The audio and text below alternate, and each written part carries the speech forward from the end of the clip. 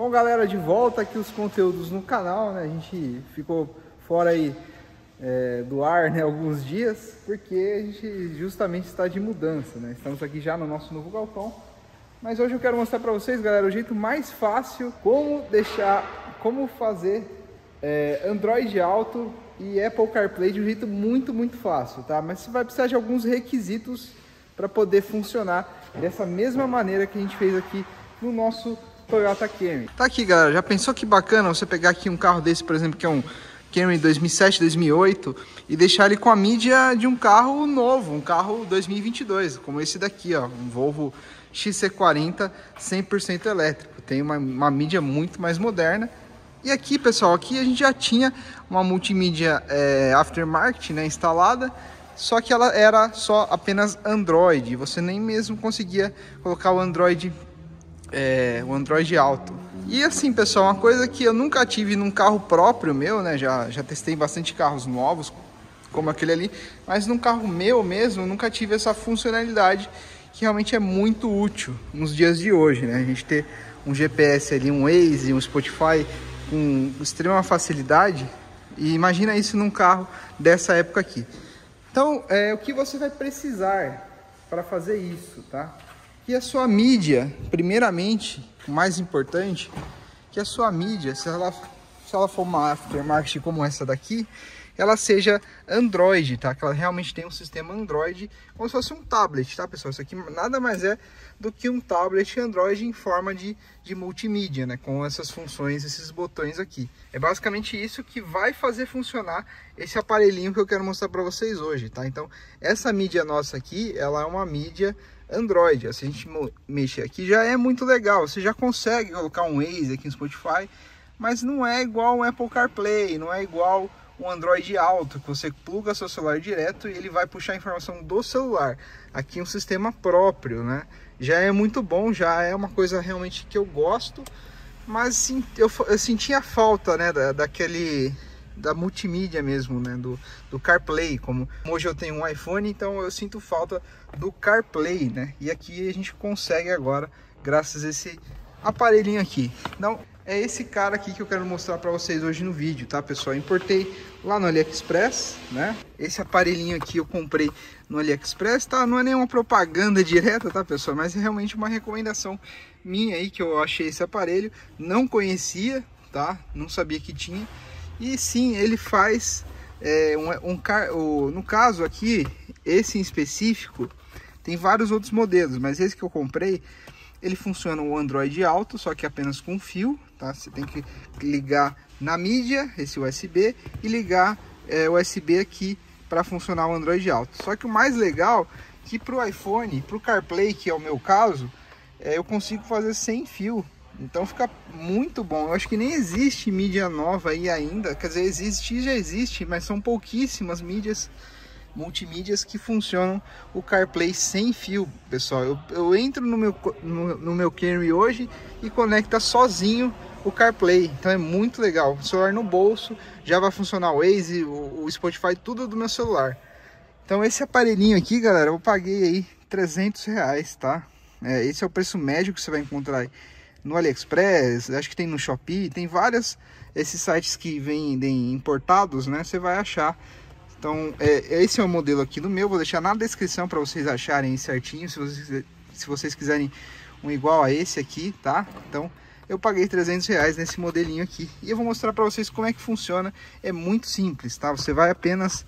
No caso aqui, a minha multimídia, galera, ela não tem USB aqui, ela até tem esse USBzinho é, de outro padrão, mas não fica legal a gente deixar aqui. Então o bacana, na verdade, a gente deixar ele escondido. E no caso aqui, como foi instalado a minha assim, ó, a gente tem aqui um USB aqui por trás do painel. Então, o que, que eu vou fazer? Eu vou plugar no USB aqui e vou deixar escondido esse aparelhinho aqui, tá? Então vamos plugar aqui. O mais importante é que você vai precisar desse aplicativo aqui para poder funcionar. No caso, a minha mídia já tinha esse aplicativo, interessante, ela já, já tinha esse aplicativo, que é o AutoKit. Se não me engano, ele já vem aqui é, um QR Code para você baixar diretamente esse aplicativo. Então, é, a gente abre ele aqui e agora ele pede insira o produto, que agora sim a gente vai plugar ele no USB da mídia. Então agora, pessoal, tô com dois iPhones aqui, ó, para teste, aqui um 11 e aqui um 12. É, e é bem fácil, ó, eu já conectei aqui. No caso, isso aqui vai ficar escondido aqui atrás, tá? Que como eu tô te, mostrando no vídeo, tô mostrando para vocês como é que tá aqui. Conectou, agora ele pede para conectar o telefone. Então, no caso, vamos pegar esse iPhone aqui, ó. A gente vem aqui no Bluetooth, né? Do iPhone normal. E aqui, galera, ele já acha aqui, ó, o meu dispositivo, ó. Inclusive, aqui, ó, é esse AutoKit aqui, ó. Por mais que tenha um Bluetooth chamado Camry, é esse mesmo que tá aqui na tela, tá? Então a gente clica aqui. Clicou aqui no, no Bluetooth aqui do iPhone. Ele já vai fazer a conexão. E olha só que bacana. Ele já aparece aqui pra gente usar CarPlay, ó. Então é bem, bem bacana, bem fácil. Gostei demais aqui do resultado aí dessa, dessa mídia. E tá aí, ó. Olha que legal. Então agora esse iPhone aqui já está é, pareado aqui na mídia do Camry. Então, olha só, pessoal, sem fio no celular. Ele está aqui apenas comunicando com esse aparelho. E agora, ó, posso deixar o iPhone no bolso, tudo. Pode ser qualquer iPhone aí que vai funcionar. E tá aqui, ó, o nosso CarPlay. Funciona muito bem, pessoal. Ele puxa o WhatsApp aqui do celular, tudo certinho. Tem até Telegram, ó, tem WhatsApp Business. Apple, é, tem o, o música da Apple, né? O Apple Music. Esse eu já não uso, eu uso mais o, o Spotify, por exemplo, né? Então vamos abrir aqui, vou colocar uma música para vocês é, sem direito autoral, né? Então coloquei aqui música sem. Então coloquei aqui música sem direito autoral, ó. E já tá tocando aqui diretamente no, na mídia do Camry. Ó que legal. É um CarPlay originalzão, galera. Lógico, tem um, Android por trás dele, mas não, não em cima. Na verdade, está rodando o CarPlay oficial. Só que aqui a mídia, no caso, ela é um Android, né? Mas o CarPlay em si funciona exatamente como o original, tá? Então, bem bacana, ó. A gente passa aqui as músicas, ó.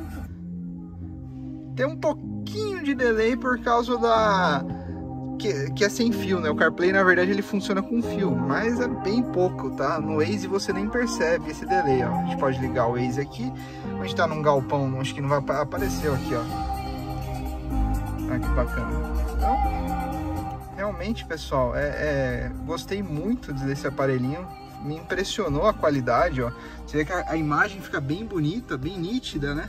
Não fica uma imagem, é, fica bem original mesmo, do jeito que você vê num CarPlay mais novo, né galera? Então, muito bacana esse aparelhinho aqui, essa é a recomendação do vídeo, então recomendo bastante esse aparelhinho aqui, que chama CarLink, né?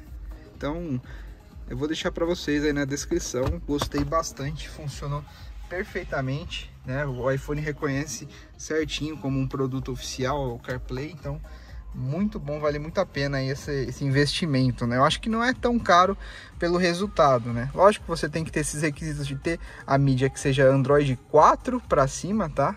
Acho que o Android 4 para cima já vai funcionar. E esse é o único requisito, tá? Para quem tiver a mídia Android vai funcionar legal. O Android alto também vai funcionar bem, mas aí já vai ter o cabo, né? Então já já pelo menos nesse modelo aqui já vai ter o cabo, tá? Então mas para quem tem o iPhone aqui, eu acho que compensa ainda mais. Então, galera, é isso. Então, pessoal, essa é a dica desse vídeo, né? Uma, uma coisa que eu não vi para nenhum vídeo explicando tão bem a respeito desses carros mais antigos com essa mídia. E eu acho que compensa muito o investimento, como eu disse. Transformou a experiência aí a usar o Camry, né? A gente tem já tem um sedã que a gente gosta muito, motorzão e tal, mas ele é antigo e agora ele está com uma mídia atualizada, então ficou bem legal, fica num padrão bem original do carro, né? Não foge é, de uma coisa original, se a gente olhar visualmente mesmo, então fica muito bom mesmo. Transformamos o Camry num carro mais moderno. E, inclusive, pessoal, esse aqui é os próximos vídeos, tá? Se vocês quiserem conteúdos desse carro aqui, deixem aí nos comentários. Um carro 100% elétrico, isso aqui vai ter no carro de garagem mas é isso, pessoal. Então, estamos aqui terminando nossa mudança. Tem bastante coisa para ajeitar aqui ainda. E é isso, pessoal. Tamo junto. Até o próximo vídeo. Espero que vocês tenham gostado. Se você curtiu esse, essa mídia aqui, esse sistema, deixa aí o like. Se você quer ver em outro carro funcionando, que seja compatível também, deixa aí nos comentários. Beleza, galera? Valeu. Até o próximo vídeo.